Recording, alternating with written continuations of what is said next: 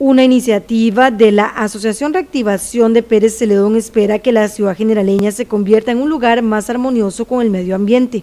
Con ese fin es que se trabaja en el proyecto denominado Embellecimiento de la ciudad de San Isidro del General y protección de las cuencas sobre los ríos, además de la carretera interamericana sur.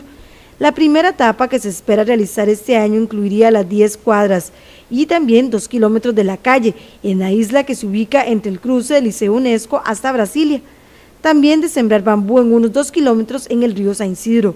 Para concretar este proyecto estarían realizando una campaña para recaudar fondos y solicitar aporte municipal. Cuando vemos la ciudad de San Isidro del General y Daniel Flores, cuando nosotros vemos las fotos de la ciudad, este no, es, no está acorde al turismo rural y ecológico que quisiéramos mostrar.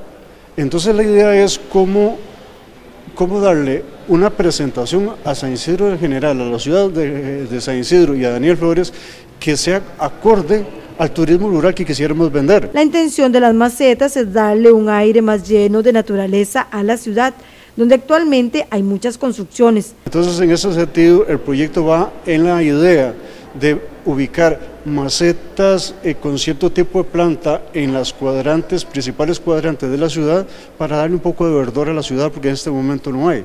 Y en el centro de la carretera interamericana entre Palmares y, acá y, y, el cruce del colegio, en ese centro de carretera también ubicar macetas a los lados de la carretera donde se pueda sembrar plantas y, cobertura vegetal hacerlo, y si no, por macetas también. También en la asociación consideran necesario cuidar las cuencas. Que las aguas arriba se vengan con toda la fuerza y nos eh, afecten la ciudad abajo.